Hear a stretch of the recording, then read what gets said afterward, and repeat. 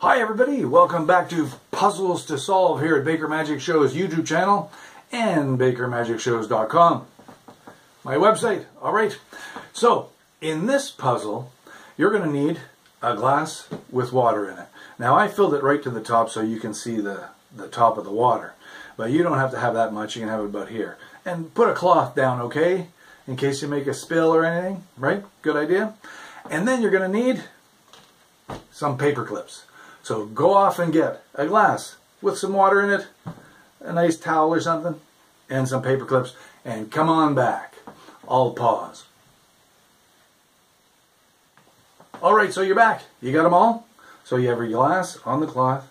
Now, what you're going to do is you're going to take some of these paper clips, and you're going to see if you can float them on the top of the water. Not like that. Alright? So see if you can float a paperclip on the top of the water. Go! Pause me. How did that go? Now I hope you didn't do what some people wanted to do is hang them off the side. That doesn't count. It actually has to float on the water. Alright? So go back if that's what you did, if you were hanging them off the sides and stuff. Just one by itself floating on the water is what we need, okay? Alright, go try it again. Pause me. Was that any better? All right. If not, let me give you this clue. You only have to float one on top of the water.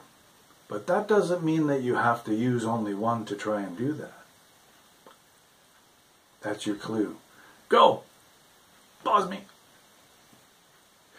All right. Did that help you out at all? All right. If not, here is the secret to this puzzle. You're going to take one of them and you're going to fold it so that it looks kind of like a T, like this. All right. And that is going to allow you to put another one on top of it, like this. And then you can lower it onto the water.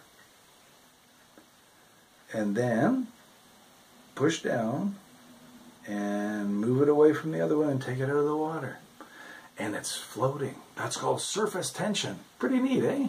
All right, can you see that? I'll move it a little closer. So there you go. Thanks for coming. And if you liked it, give it a thumbs up, of course, and uh, share it with all your friends.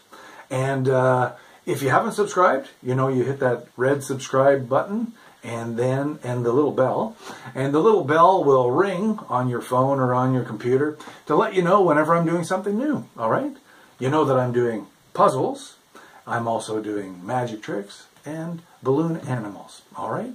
And for mums and dads I'm uh, keeping you up to date on how I'm doing shows and where I'm doing shows and also I'm giving tips on uh, how to plan a party all right? So thanks for coming we'll see you next time